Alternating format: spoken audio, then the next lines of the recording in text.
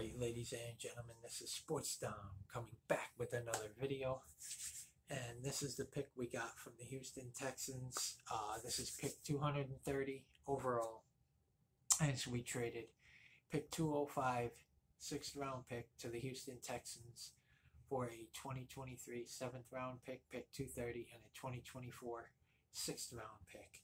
So with the 230th pick, 2023 NFL Draft, the Buffalo Bills select Nick Broeker, guard, Ole Miss.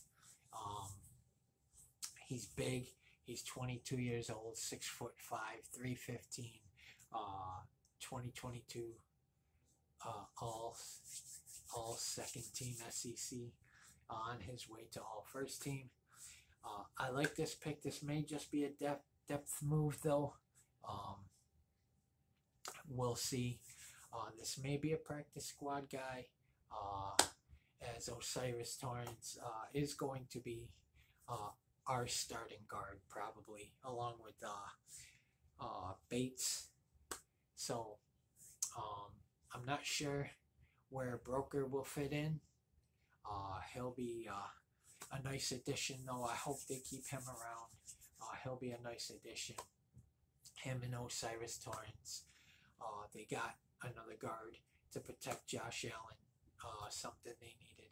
So uh, the Bills have one more pick. They got pick 252 overall uh, as they traded the pick they got from the Washington Commanders, uh, pick 215.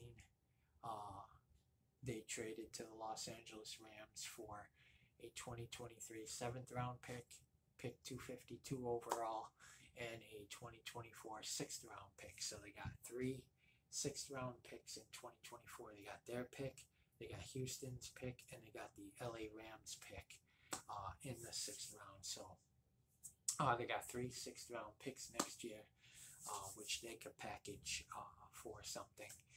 Uh, I think, even though I would like to keep Nick Broeker uh, around, I'm not sure uh, where he can fit on the team. Uh, he may just be a practice squad guy. He's definitely a depth guy. We need depth uh, at guard, and we got that. Um, so we got two replacements for Cody Ford uh, at guard, who we shipped to the Arizona Cardinals um, in the off season. So guys, comment in the comment section below on what you think.